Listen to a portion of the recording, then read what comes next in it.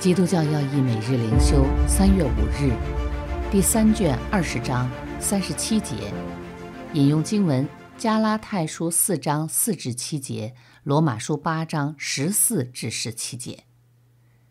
称呼我们的父，成为我们的安慰勉励。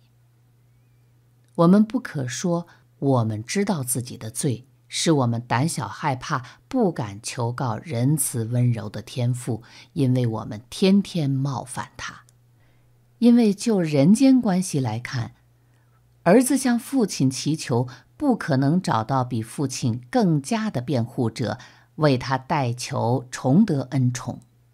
只要他自己谦卑悔改，承认自己的罪过，祈求父亲的怜悯，就必得父亲的饶恕。因为父亲必因儿女的恳求施恩，何况那发慈悲的父赐各样安慰的神呢？既然天父要我们向他恳求，难道他不顾念他儿女的眼泪叹息，垂听他儿女的祷告吗？难道他宁愿他的儿女怀疑他的温柔宽容，因害怕甚至绝望，请别人来替他们辩护？天父在慈父对浪子的比喻中，表达自己丰盛的父爱。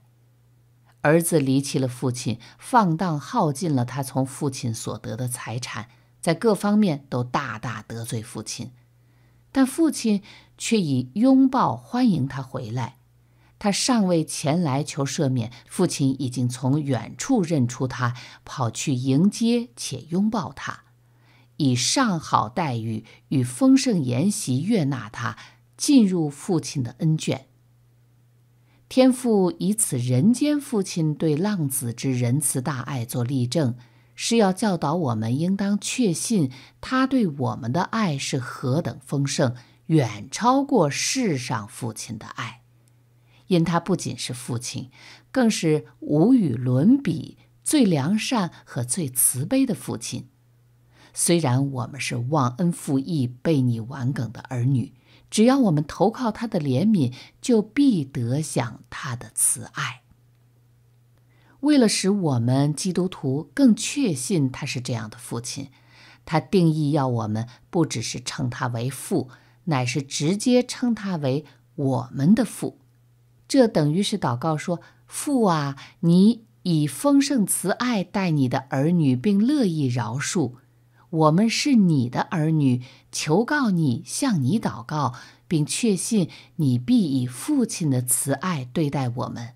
虽然我们完全不配有这样的父亲，然而因我们心地狭隘而无法领悟神无限的恩慈，他不仅赐给我们基督作为儿子名分的凭据和保障。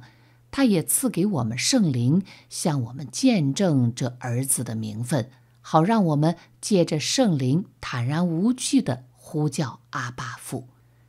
每当我们犹豫不敢来到神面前时，要记住求天父除去我们的胆怯害怕，叫我们倚靠圣灵的引导，勇敢地向他祷告。